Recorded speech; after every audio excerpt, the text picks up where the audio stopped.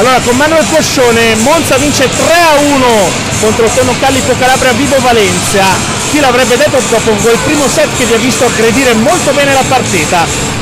Sì, abbiamo fatto un buon primo set, eh, sicuramente loro forse il primo set erano un po' giù, poi si sono ripresi e noi non siamo riusciti a stare dietro. Eh, abbiamo faticato molto col cambio palla, sono andate via alcune certezze eh, che fino adesso ci avevano contraddistinto e quindi siamo, abbiamo subito tanto, loro poi sono cresciuti tantissimo in battuta e anche nella fase di difesa e contrattacco.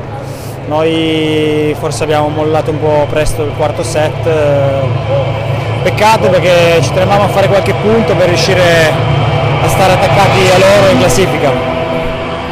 C'è qualcosa di loro che vi ha sorpreso stasera? No, hanno giocato come sanno giocare, come avevamo studiato, una squadra tosta, una squadra che in battuta batte forte, ha, dei buoni, ha un buon ritmo, no, sapevamo che a muro erano fastidiosi, no, hanno giocato come noi insomma, ci aspettavamo, hanno forse attaccato meglio di noi sicuramente la palla alta e complimenti a loro perché hanno giocato una buona gara. Si chiude una serie di sette partite consecutive a punti per eh, Vivo.